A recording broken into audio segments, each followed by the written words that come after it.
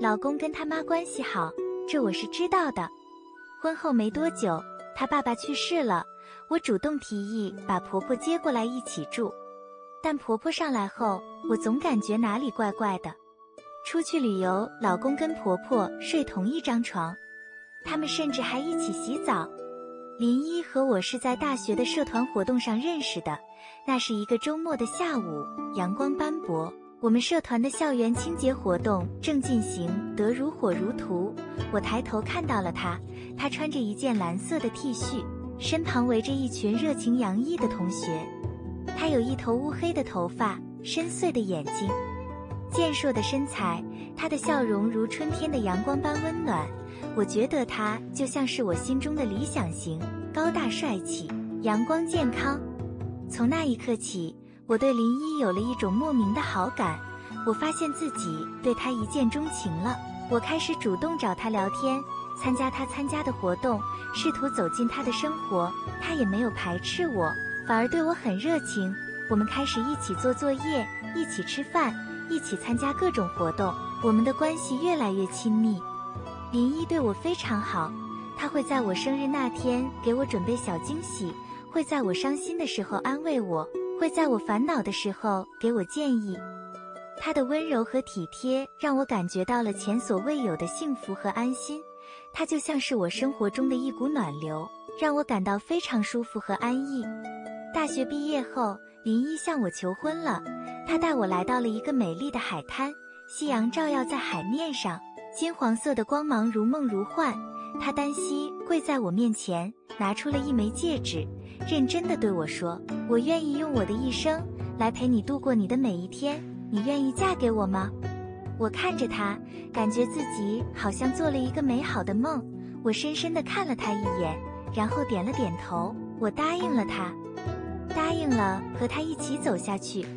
谈婚论嫁的时候，我第一次见到了林一的妈妈，我的婆婆。她的眼睛炯炯有神，肤色健康，有一头乌黑亮丽的长发，肩上挂着微微泛黄的珍珠项链。她穿着一件简洁的纯色连衣裙，看上去既端庄又优雅。婆婆的笑容非常亲切，有种让人感觉非常舒服的魅力。我看着她。一点都看不出来，她已经四十多岁了。我不由得感叹基因的强大。看着林一的妈妈，我感慨万分。一不小心，我说出口了：“阿姨，你保养得真好，完全看不出来四十多岁。”她笑了，眼睛眯成了一条线，笑着对我说：“呀，这小丫头会说话啊。”我看得出来，林一和他妈妈的关系很好。结婚之后。我才发现，他每天晚上都要给妈妈打电话，报告一天的行程和生活琐事，聊上好一会儿。有时候，他甚至会跟妈妈聊天聊到深夜，像是没有话说不完似的。我一开始有点意外，然后觉得有点好笑。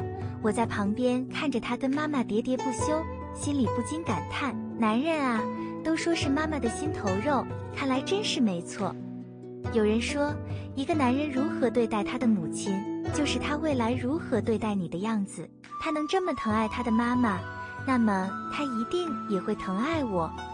婚后没多久，老公的爸爸突发疾病去世了。那天医院的电话，几乎将我和林一的心一起扔进了冰窖。我看着林一的脸色，一下子就变得像白纸一样，眼神空洞得让人心疼。他只是愣愣地坐在沙发上。一句话都不说，只是手不断的握紧，在放松。接下来的日子，林一变得有点不正常，他一直嘴里嘀咕着：“妈一个人在家，我不放心，她会照顾自己吗？我妈一个人在家，会不会不小心摔跤？她做饭的时候会不会忘记关火？她像个孩子一样，把所有的担忧都挂在脸上，让我心疼不已。”看着他那种焦虑的样子，我心里那个难受啊！我又怎么忍心看他这样烦恼呢？所以，我主动提议说：“老公，如果你担心，我们就把妈接过来住好不好？”说出口的那一刹那，我看到他的眼神瞪得老大，他完全没想到我会提出这个建议。林一的眼睛瞪得圆圆的，他看着我，嘴唇微微颤动，却说不出话来。我知道他被我吓到了，他肯定没想到我会说出这样的话。你，你真的愿意吗？他终于说出了这句话，他的眼睛里满是疑惑。我笑了笑，轻轻地握住他的手。我当然愿意，我不能看着你每天这么焦虑。再说，我顿了顿，然后认真的看着他。妈也是我们的家人，我愿意照顾她。林一看着我，突然眼眶红了，他紧紧地握住我的手，声音颤抖的说：“老婆，谢谢你，你真是太好了。”婆婆一到我们家，我就看出来了，她心里那个难受啊，就跟失去了整个世界似的。看她这样。我觉得我们得做点什么，老公，你看妈这样，我们是不是应该带她出去转转，换换环境？我看着她，林一被我这么一说，她眼睛一亮，这个主意不错，咱们可以去哪呢？我们就这样一边想一边查攻略，最后决定带婆婆去海边，听听海浪，看看大海，也许能让她的心情好一点。婆婆听到我们的计划，一开始还有点犹豫，但看我们那么坚决，最后也就同意了。她只是低头，轻轻地说：“谢谢你们。”我们出游的那天，天气特别好，阳光明媚。婆婆一直挽着林一的手，一路上都在说话，一看就知道她特别高兴。看着他们母子俩，我心里那个复杂呀。我看到婆婆一直挽着老公的手，一直在她耳边嘀咕。我心里竟然有点不舒服。我不是那种小心眼的人，我明白婆婆只是想找个依靠，可我还是有点不习惯。我看着他们两个，心里有种说不出的滋味。我跟自己说，我想太多了。等到中午吃饭的时候，婆婆、林一、我三个人围坐在一张小圆桌旁，挤挤挨挨的感觉，就像是在家里的饭桌旁。你看看这个，这个皮也太油了。婆婆用筷子捏着一块烧鸭，咬了一口后，对筛林一说道：“林一自然而然地接过筷子，把鸭肉的皮吃掉后，又把鸭肉喂到婆婆嘴里。我咽下一口饭，尽力装出一副无所谓的样子。可是他们这过分亲昵的一幕一直在我脑海中回放。看着他们互相喂食，我感到有些恶心。我猛地推开椅子。站了起来，我我去下洗手间。我语无伦次的解释，然后快速向洗手间走去。晚上到了宾馆，我才发现老公只订了一间标间。喂，林一，怎么只订了一间标间？我拿着行李，皱着眉头看着老公。嗯，是的，为了省钱吗？林一耸耸肩膀，仿佛这是再正常不过的事情。可是我迟疑了一下。但还是咬牙忍住了，毕竟我不想在这个时间点吵架，也不想让婆婆觉得我多疑。那一晚，我跟婆婆先洗完澡，各自躺在一张床上，我关了灯，只开了床头灯，准备玩会手机就睡觉。然而，等到林一洗完澡出来，我却惊呆了。她穿着宽松的睡衣，直接走向了婆婆的床，然后就躺在了那里。我的心像被针扎了一样。难以置信，我深吸一口气，努力让自己平静下来。我不知道应该说些什么，我也不知道我能做些什么。我慢慢的掏出手机，决定发微信问他：“林一，你为什么要去你妈妈床上睡觉？”我咬着唇，敲下这样的文字。妈最近总是睡不好，我陪陪她。她的回复来的迅速，我看着她发过来的笑脸表情，心中的疑虑更深了。可是这样，我犹豫了一下，不知道该怎么表达我内心的不安。没事，你别多想。妈妈年纪大了，有时候夜里怕。他的回答令我心头一紧，感觉有些窒息。我看着他的回复，心中更加迷茫：是我多疑，还是他们的行为太过于亲密？我不知道，只是看着那张床，心里无比复杂。我放下手机，用手捂住脸，试图让自己忘记这些不愉快，但心中的疑虑如同乌云，始终挥之不去。旅行结束后的那天，我们回到了家，婆婆挥了挥手，笑着说：“我先去洗澡了。”然后她就消失在了卫生间的门后。我正在整理行李，突然听到婆婆的声音从卫生间传出来：“林一，你过来帮妈妈搓搓背。”我呆住了，这我一时间不知道如何反应。我的手在空中停滞，心跳得如同疯狂的鼓点，而林一却仿佛什么都没有发生一样。他走到卫生间门口，轻轻地推开门，然后就消失在了卫生间里。那一刻，我感觉像是被雷劈了一样，全身僵硬，脑海一片空白。我感觉到一种深深的震惊和难以言表的痛苦。晚上，我终于忍不住找到了林一。林一，我们能谈谈吗？我小心翼翼地说。他看了我一眼，然后轻轻点头。嗯，怎么了？我觉得你和妈妈可能有些过于亲密了。我咬了咬下唇，轻声说出心里的疑虑。他一愣，然后眉头一皱：“过于亲密？你在说什么？那是我妈。”我点点头，我知道她是你妈妈，但是我犹豫了一下，但最后还是说出了心里的疑虑：“你们的行为让我有点不舒服。”林一显然没想到我会说这些，他愣在原地。过了一会儿，他的脸色突然一沉。你怎么可以这么想？那是我妈妈。你的思想太龌龊了。我被他的反应吓到了。我只是想和他好好谈谈，没想到他会如此激动。我看着他愤怒的表情，心里一阵无力，不知道还能说些什么。我抿了抿嘴唇，缓缓低下了头，无言以对。接下来的几天，我和林一陷入了一种奇怪的冷战状态。我们在家里像两条直线，各自按照自己的轨迹走着，尽量避免交集。我们吃饭时也不再像以前那样有说有笑，而是各自低头吃自己的。偶尔的对话也都围绕着家里的日常琐事。这样的日子让我感到心里特别不舒服，像是堵了一团棉花，说不出的滋味。就在这样的气氛中度过了几天后，我收到了公司的通知。要我去隔壁省的一个项目现场出差一周，我看着那封电子邮件，心里不禁松了一口气。虽然出差的工作肯定很辛苦，但我还是觉得比待在这样的家里好。于是，我开始收拾行李，准备第二天一早就出发。我收拾得很仔细，林一在旁边看着电视，没有一句多余的话。我心里有些苦涩，但我也没有多说什么。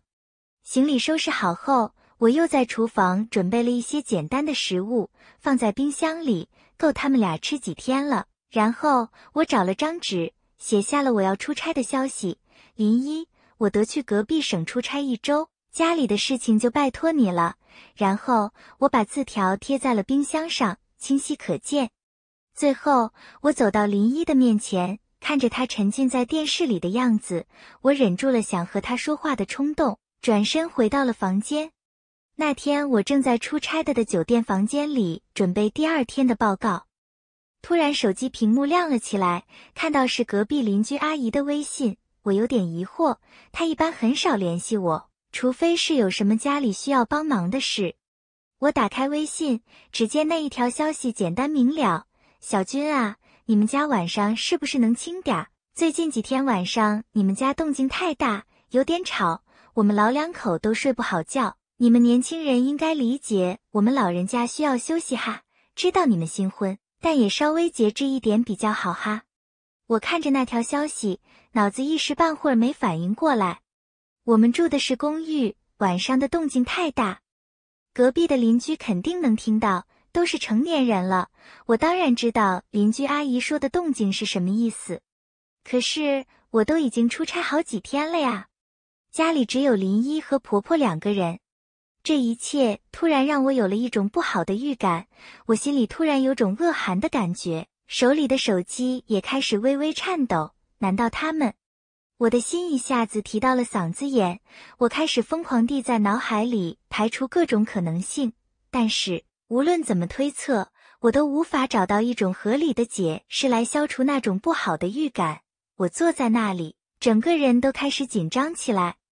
我提早两天回到家里，并没有告诉老公和婆婆。我打开门，看到家里一片狼藉，客厅地上随处都是凌乱的衣物，甚至还有婆婆的内衣。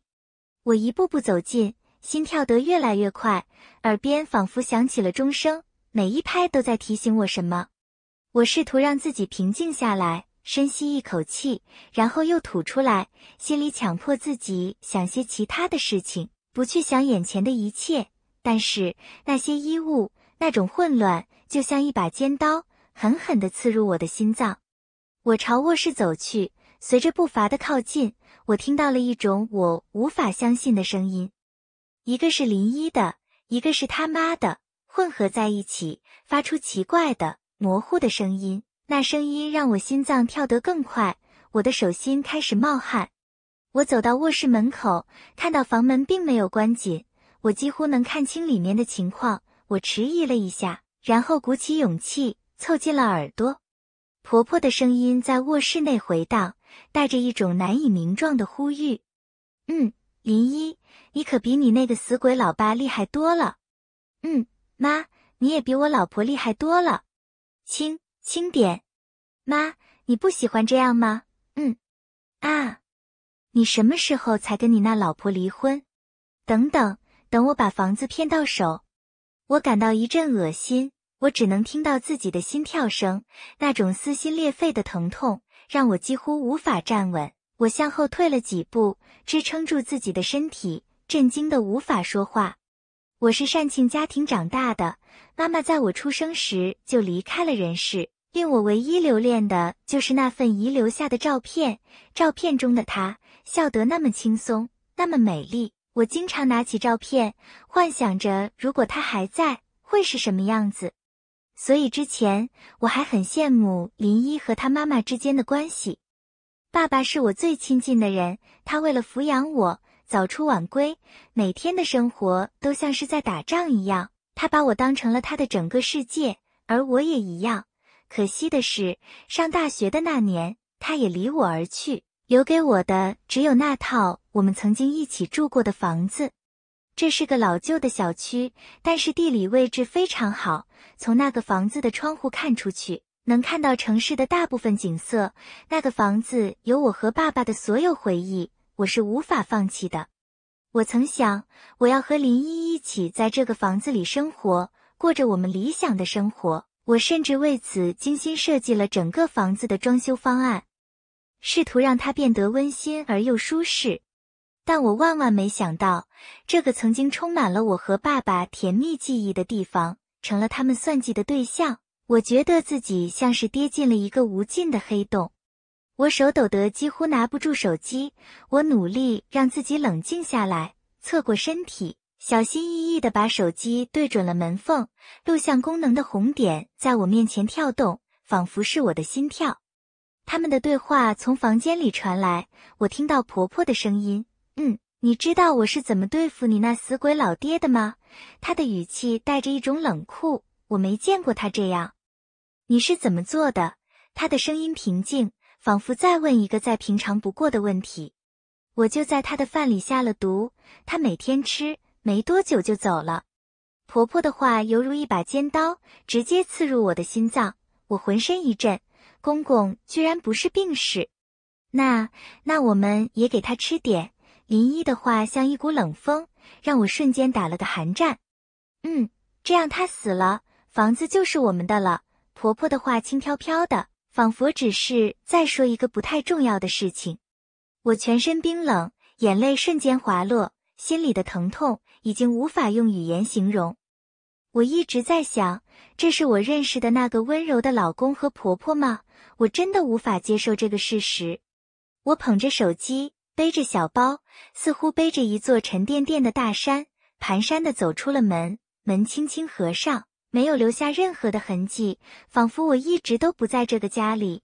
我犹如一个迷失的小孩，不知道自己该走向何方。我决定去闺蜜的家。我随便叫了一辆出租车，向司机报了地址，就怔怔地看着窗外的夜景，泪水一滴一滴在心头凝结。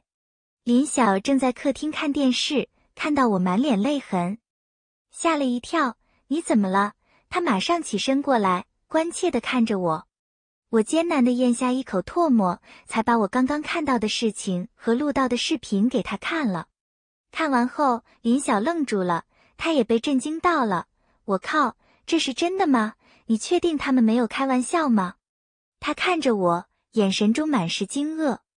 我默默地点了点头，再次崩溃。我也希望这是玩笑，可是我差点哽咽，眼泪又流了出来。我能不能直接去报警？我迫切地盯着他，希望得到他的指点。他沉默了一会儿，眼神中满是严肃。要是说只是开玩笑呢？警察需要实实在在的证据，只有视频还不够，你得有更充分的证据才行。听到这个答案，我心里一沉，原来这一切并不是那么容易解决的。我决定去老公和婆婆的老家看看。我先来到当地的医院，心里有着丝丝的紧张和不安。我向护士打听当时公公病逝的细节，结果却是因为时间过去太久。医生和护士已经没有了记忆。我又去了他们家中，原来的邻居都已经搬走，只剩下一两户老人还在。我坐在石阶上，满脸失落，感受到了几分秋风的凉意。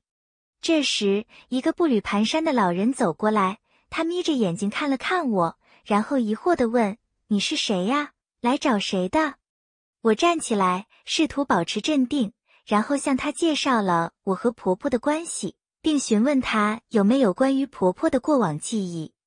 他愣了愣，像是在回忆什么，然后他慢慢说：“哦，你说的是她呀，我记得那时候她住这里，和她丈夫还有孩子。”我急切地问：“你知道她丈夫死因吗？他们是怎么生活的？”她摇了摇头，说。我也不清楚，但是我记得她好像不是那孩子的亲妈。什么？我惊讶的看着她，她不是亲妈？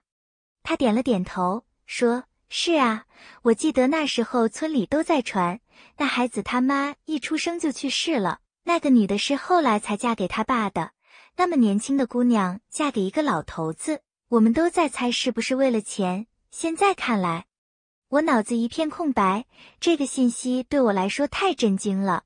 我静静地坐在那里，试图消化这个信息。我心跳得厉害，仿佛有什么东西在我胸口压得我透不过气来。老公和婆婆，他们竟然没有血缘关系。我回到车上，坐在驾驶座上，头昏脑胀。我把自己塞进车里，仿佛想从这个世界消失。这一切都太过震撼。我根本无法接受。我又去了他们家中，原来的邻居都已经搬走，只剩下一两户老人还在。我坐在石阶上，满脸失落，感受到了几分秋风的凉意。这时，一个步履蹒跚的老人走过来，他眯着眼睛看了看我，然后疑惑地问：“你是谁呀？来找谁的？”我站起来，试图保持镇定，然后向他介绍了我和婆婆的关系。并询问他有没有关于婆婆的过往记忆。他愣了愣，像是在回忆什么，然后他慢慢说：“哦，你说的是她呀，我记得那时候她住这里，和她丈夫还有孩子。”我急切地问：“你知道她丈夫死因吗？他们是怎么生活的？”她摇了摇头，说：“我也不清楚，但是我记得她好像不是那孩子的亲妈。”什么？我惊讶地看着她。她不是亲妈，她点了点头，说：“是啊，我记得那时候村里都在传，那孩子他妈一出生就去世了。那个女的是后来才嫁给他爸的，那么年轻的姑娘嫁给一个老头子，我们都在猜是不是为了钱。现在看来，我脑子一片空白，这个信息对我来说太震惊了。我静静地坐在那里，试图消化这个信息。”我心跳得厉害，仿佛有什么东西在我胸口压得我透不过气来。老公和婆婆，他们竟然没有血缘关系。我回到车上，坐在驾驶座上，头昏脑胀。我把自己塞进车里，仿佛想从这个世界消失。这一切都太过震撼，我根本无法接受。我下意识地拉开了文件夹，一个巨额的保险单出现在了我的眼前。保险单上冠以我的名字，那一刹那，我如同被重击一般，几乎无法呼吸。保险单上的字迹清晰可见，如果我意外身亡，受益人竟然是我的老公林一，而那一笔的保险金额度简直让人啧舌。我几乎无法相信眼前的这一切，这种恐惧、慌乱的情绪瞬间占据了我的整个心灵。我深呼吸了几下，试图平复自己的情绪，然后我将保险单的图片拍下来，保存在了手机里。这份证据可能会决定我接下来的行动。我希望能够通过这些摄像头找到足够的证据，也希望他们不会发现这些摄像头的存在。至少。现在我要做的只是等待，等待他们露出马脚。接下来的日子，我假装自己忙得不可开交，每天早早的离家，晚上很晚才回来。老公问我怎么这么忙，我只是笑笑说工作上的事情比较多。我也没什么别的选择呀，这个项目是我接的，不能马虎。我用一种开玩笑的语气对老公说：“要照顾好自己。”别累坏了，老公看着我，脸上带着关心的表情。可是这让我心里只有恶心。我尽量避开他们的饭点。然而，一切都在周末那天改变了。那天我突然发烧了，可能是因为前几天工作太累，加上内心的压力过大。婆婆看到我发烧，立刻就紧张起来，说要给我煮点粥。我躺在床上，手机开着监控。我看到婆婆煮粥的过程中，从口袋里掏出一小包东西，偷偷倒进了粥里。我看着屏幕，心脏砰砰跳动，几乎要跳出来。婆婆端着粥进来，对我说：“你看起来很难受，快点吃点东西吧。”我看着面前的粥，心里感到一阵寒意。我尽量保持镇定，笑了笑说：“好的，婆婆，我先让它晾一会儿。”马上就吃。婆婆看了我一眼，没有说什么，然后就离开了房间。我看着她的背影消失在门口，然后立刻在监控下从粥里舀出一勺，放在了一个小盒子里，做好封口。那是我的证据。剩下的粥我都倒进了卫生间的马桶里，心中涌上一股恐惧和厌恶。我看着马桶中的粥。心想，这可能就是婆婆和老公想要对我下手的证据。我立即联系了闺蜜林晓，让她帮我把粥样本送去做检测。我告诉她一定要全程录像，记录下工作人员拆开封条的过程，留作证据。你放心，我知道怎么做。小心驶得万年船。林晓给我发了一个安慰的表情。我看着手机屏幕，心中的恐惧稍稍缓和了一些。接下来的几天里，我仿佛坐在针毡上，焦急地等待着检测结果。每次手机响，我都会紧张地看一眼屏幕，看看是不是林晓发来的消息。终于，检验结果出来了。林晓打来电话，语气里充满了震惊：“你的粥里面检测出来有安眠药和稀有的毒草提取物，偶尔吃一次不会有什么，但如果经常服用。”会引发多种严重的健康问题，甚至会致命。我听到这个消息，全身都冰凉了。我感觉自己像是从云端直接跌落地狱，恶寒从脚底涌出，一路上升，直到心间。我挂掉电话后，马上就拨打了报警电话。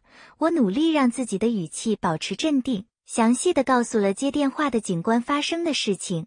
我告诉他们，我有视频证据。有毒物的样本，也有对我下毒的嫌疑人。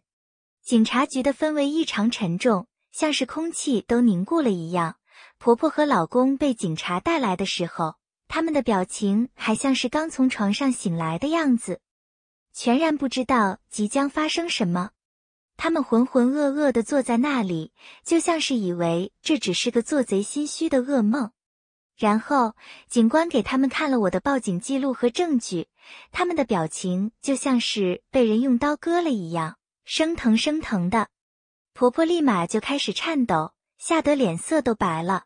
老公也不再是刚才那副懵懵懂懂的样子，他的脸色一下子就变得铁青。这是误会，都是误会。婆婆歇斯底里地说：“我没做过这种事，这是有人陷害我们。”老公也立马接口。对，这肯定是误会。我的妈妈是个好人，她不可能这样的。但是，当警官播放出我用手机录下的视频，他们俩像是被雷打中了一样，整个人都僵在那里。婆婆更是吓得直接跪在地上，连呼吸都有些困难。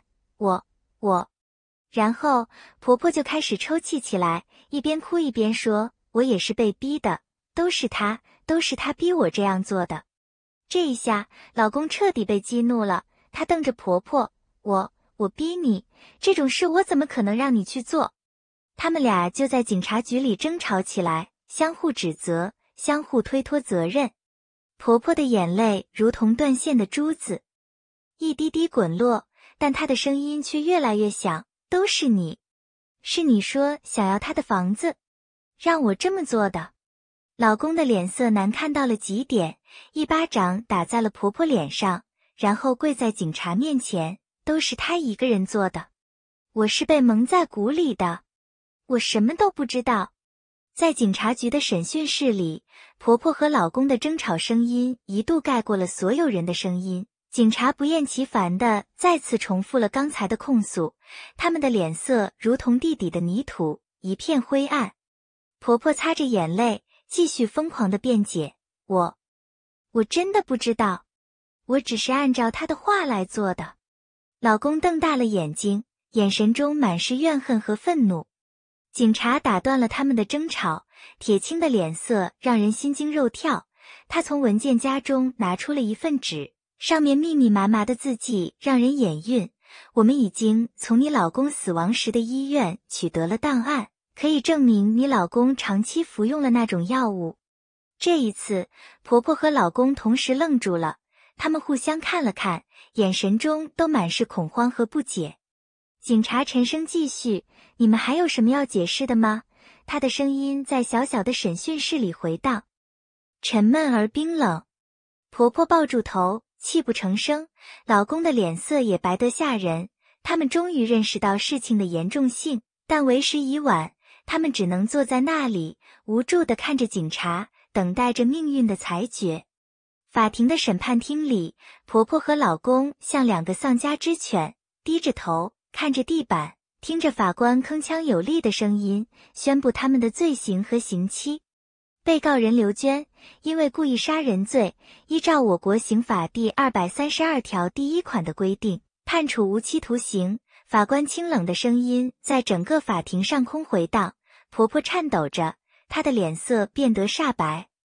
紧接着，法官将视线转向了我的前夫，被告人林一，因为故意杀人罪，作为从犯。依照我国刑法第二百三十二条第二款的规定，判处十五年有期徒刑。老公低头，深深的叹了口气，他的脸上满是悔恨和痛苦。我坐在旁听席上，心里五味杂陈，但更多的是释然。